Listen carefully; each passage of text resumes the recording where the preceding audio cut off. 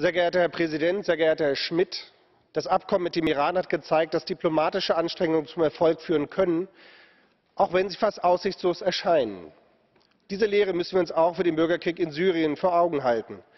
Wir brauchen einen politischen Prozess, der alle Konfliktparteien an einen Tisch bringt.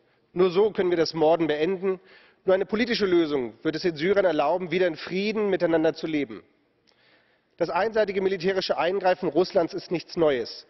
Ich weise seit Monaten diesem Haus darauf hin, dass Russland seine schützende Hand über Assad hält und in die Lösung des Konfliktes mit einbezogen werden muss. Das hat nichts damit zu tun, bei den Sanktionen zur Ukraine nachzugeben. Es ist katastrophal, dass Präsident Putin sich nur noch aktiv in den Bürgerkrieg einmischt. Russland ermöglicht es Assad damit, die Bevölkerung ganzer Städte weiter täglich mit Fassbomben zu terrorisieren. Das muss ein Ende haben. Wir dürfen nicht vergessen, dass es insbesondere dieser Terror des Assad-Regimes ist, der Millionen Syrern zur Flucht aus ihrem Heimatland getrieben hat und weiter treibt. Herzlichen Dank für die diplomatischen Bemühungen der Hohen äh, Vertreterin. Vielen Dank, Herr Kollege Lietz.